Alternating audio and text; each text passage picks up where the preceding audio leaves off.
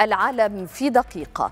الرئيس الأمريكي جو بايدن يؤكد اليوم في باريس بعد إطلاق سراح أربعة رهائن إسرائيليين في غزة أن الولايات المتحدة ستواصل العمل حتى إطلاق سراح جميع المحتجزين في القطاع.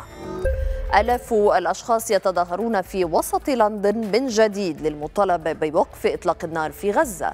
بينما تتخذ التظاهرة أبعادا سياسية. تأتي قبيل أسابيع قليلة من الانتخابات التشريعية المقررة في الرابع من يوليوز في بريطانيا. وحركة حماس تقول إن 210 أشخاص على الأقل قتلوا في هجمات إسرائيلية على مخيم النصيرات في وسط قطاع غزة فيما ارتفع عدد الجرحى إلى أكثر من 400 جريح. وفي جنوب لبنان قتل شخصان في قصف إسرائيلي حيث نفذت مسيرة إسرائيلية قصفا جويا بصاروخين موجهين استهدفا مقهى ضمن محلات تجارية في بلدة عترون في جنوب البلاد.